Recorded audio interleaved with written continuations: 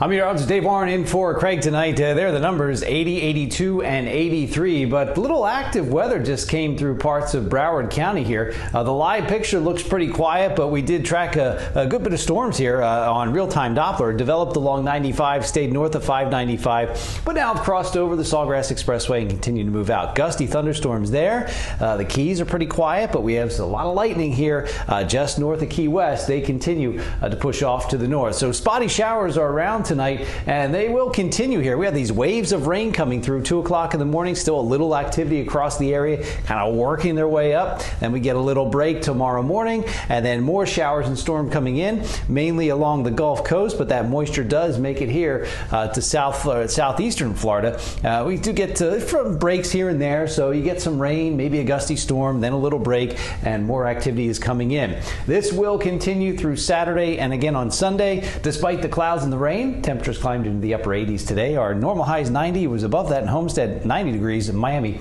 hit a temperature of 88 degrees. A little rain cooled air there in Oakland Park at 77. Fort Lauderdale is at 82, and it's into the mid to low 80s here across parts of Miami Dade.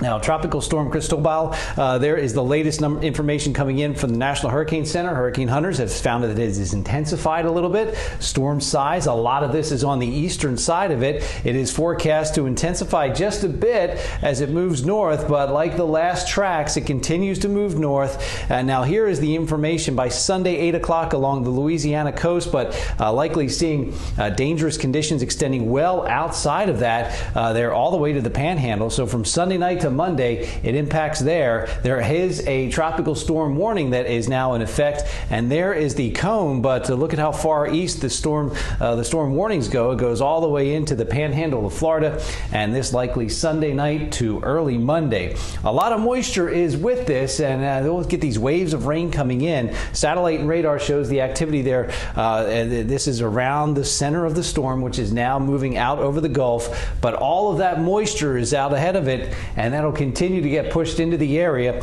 And as the storm moves north, you're getting that tail of moisture that just stays over the area. So we will have more showers and gusty thunderstorms throughout the weekend. Next week, in fact, a little more sunshine could enhance these showers and storms. That'll continue Wednesday, Thursday, and Friday. Jim and Lauren, back to you.